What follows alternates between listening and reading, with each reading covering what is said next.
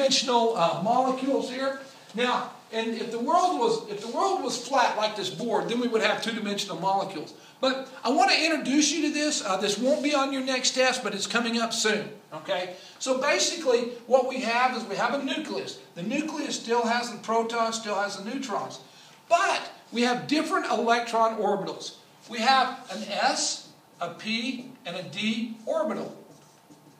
All right. Now, once again, I want to introduce this to you, and I want you to give this. We'll do this a lot in this class. We'll give you something to kind of soak in for a little bit, and then as it soaks in, we'll begin to teach it. So, the, the three-dimensional model won't be on your next test, but it's coming up. So, the s orbitals, that's kind of cool. They travel right around the nucleus. So, there's s orbitals. Oh, that's pretty cool. And we'll learn how to tell those what they do. But an s orbital can hold up to two electrons and travels right around the nucleus. So here's the nucleus. They're traveling around. Oh, well, that was the picture of the first atoms that we used to have, and all we knew about was the s orbitals. But then we go on to the p. Actually, I, I said that we got a, a D and an F. Okay, S, P, D, and F. Speed fighter. So the first one is the S, right around the, the, the, the nucleus. And then we have the P's. The P's come out Okay, and they come up and they come back. They start out and they originate, and then gravity pulls them back. They start out and then gravity pulls them back. They start out and then gravity pulls them back. But it's six, eight, even 12 dimensional. Every different side has a p orbital. Okay, so these are, so we have the s orbitals and the p's. Now, what I want to show you, once again, we won't have this on our next test, but it's coming up because I want you to understand this. So these are the s's and the p's. Now they can attach to other elements and make bonds. But then we have the d orbitals and the f orbitals. Okay, now it's kind of interesting because the d orbitals are electrons that hang around the side. Okay, so these are the d electrons. Okay, so these are, and uh, oftentimes in chemistry we will just show electrons, as E minus. Okay, so these are the d electrons. Well, look, they're just setting out there. They're not even attached to the nucleus. Oh, okay. Well, guess what's on the top and the bottom? That's kind of cool, too. So now we have the F electrons, okay? And they're just hanging around at the top and the bottom, okay? So these are the F orbital electrons. So there they are. But look, they're not even attached to the nucleus. So we say, golly, where do we get static electricity? How can we just rub something off and the nucleus never comes with it? How can we get the electricity through our lines, okay, and make a constant form of electrons, but no nucleus goes with it? Oh, that's easy. Look, the d electrons and the f electrons are not even attached to the nucleus. They don't bond with anything. Oh. So that's the problem with the one-dimensional deal, is that even though we have a little, even though we have a nucleus and we draw a little orbitals, not all the electrons are in the same spot. So I want to show you that this is where we're going to go. Uh, when you deal with when you deal with electrons, and you and, and, and, you know back in your old high school classes or your your, your beginning uh, chemistry classes, we make everything one dimensional. But ladies and gentlemen, members of the jury, you will not understand chemistry unless you begin to understand that this is real life. That it's not a two dimensional. It's 3D, 4D, 5D, 12D. And so this is, this is important. So I wanted to introduce this, even though we're not going to have this exact one on your next test. Uh, on your test, you're going to have to do a one-dimensional diagram. But I want to begin to introduce this. Okay. So, hey, this is where it gets kind of fun. I, I, I like to get through the introduction of the chemistry and start getting to some of this cool application stuff. So, all right, well, let's move on. Uh, you are going to have on this test, you are going to have density. Density is equal to mass over volume.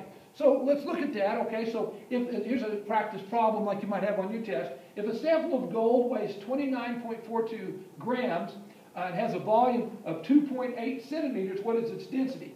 Well, once again, formula for density, the mass, so the grams is the mass.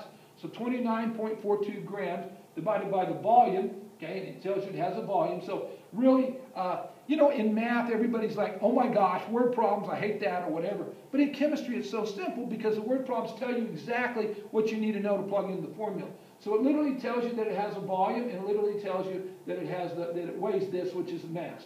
So 29.42 divided by 2.8 equals 10. Point, oh, this looks pretty scientific. Once again, you know, but we got to be a chemist. It says on your calculator 10.5071429 grams per centimeter. That looks scientific, but we got to say to ourselves, what significant figures? So we look, so we're looking for the least number, okay? So here's one, here's one decimal place and there's two decimal places, so the least is one. So our answer, so this whole thing is going to be equal to 10.5 grams per centimeter. Once again, uh, we're just using the significant figures with the least number of uh, decimal places. Okay? Well, let's move on. Uh, we talk about a graduated cylinder here. And a graduated cylinder, whenever we have a liquid in this graduated cylinder, uh, the surface tension pulls the, the, the molecules to the side uh, of this graduated cylinder, forming what we call a meniscus. A meniscus is a curved line due to the surface tension. Now, it's important and critical that we always read the bottom of the meniscus.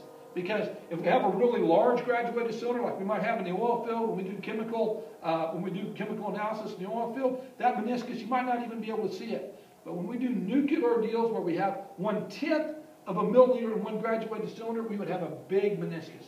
Always read the meniscus from the bottom. You always read it from the bottom because remember the top, the top is really just pulled up to the top of the glass. Okay, so that's the meniscus. All right, now, the last thing we're going to deal with in this chapter is metric conversions. And I love this because, once again, I was talking about the old, uh, the old English conversions where we have so many ounces, uh, so many ounces in a, in a quart, so many quarts in a gallon, that type of thing. Metric conversions is all based on base 10, so we just simply move our decimal place, okay? So here's a couple of examples, all right? So how many meters are equal to uh, 4,830 centimeters? So what we ask ourselves is which one's larger and which one's smaller, okay?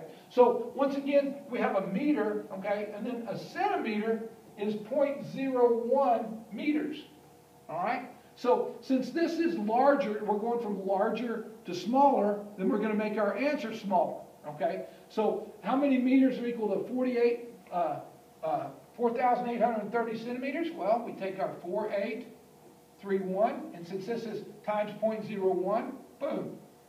So, so once again, uh, we have, so how many meters are equal to this? So we're going to have 48.31 meters are equal to 4,830 centimeters. So see what the, the beauty is, it's all just changing the decimal place. So let's do another one, okay? All right. So now, how many kilometers, okay? All right. So, um, how many kilometers? Uh,